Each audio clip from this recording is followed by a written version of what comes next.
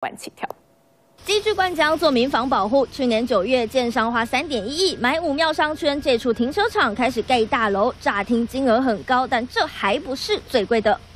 土地是越来越稀缺了。以古山区这一块停车场来说，其中一百九十二平就卖出了三点八亿，直接成为去年高雄最贵停车场。有轻轨，有学校，有公园，巨蛋商圈机能好，吸引建商花高价买地。去年他买一百五十万，也也当时也是新高啊。今天的贵是明天的便宜，五年一平均价在网上占十万是很有可能的事情。单块哦，在四百平以上是一定很好入手。一般的话，四百平的话，地价是还挖的比较漂亮。以实价登录来说，巨蛋商圈停车场卖三点八四亿，等于单平两百万。大昌商圈五百三十六平停车场三点八三亿。至于南高。雄五庙商圈大约四百平停车场卖三点一亿，凤山则卖出二点六亿。就算没有创新高价，平均单平也要七十一万以上。地越来越少，建商趋之若鹜，对中介业者而言更是一笔好生意。他们讲家族经过好几代之后，可能都分散了，可是家族还有一些长辈会在那边做个主导动作。